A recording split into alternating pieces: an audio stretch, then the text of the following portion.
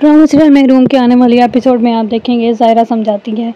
अब जाकर जफ़र को कि उसे नहीं चाहिए उमेर। तो उमेर भी फ़ोन करता है ज़ायरा को और कहता है कि अभी तुम साथ के साथ नज़र आती हो, कभी अपने बॉस को मेरे पास बोलती हो, क्या चल रहा है तुम्हारे दरमियान तो उसका बॉस भी उमेर को बुलाकर काफ़ी समझाता है कि, बेटा, तुम्हारा बाप तुमसे झूठ बोल रहा है, उसने तुम्हें वही दिखाया जो तुम देखना, जो वो दिखाने, दिखाना चाहता था और तुमने वही देखा जो उसने तुम्हें दिखाया। इसमें गलती ज़ायरा की नहीं है। क्या तुमने किसी और गैर मर्द के साथ ज़ायरा को देखा या किसी और के नंबर से ये मैसेजेस पकड़े।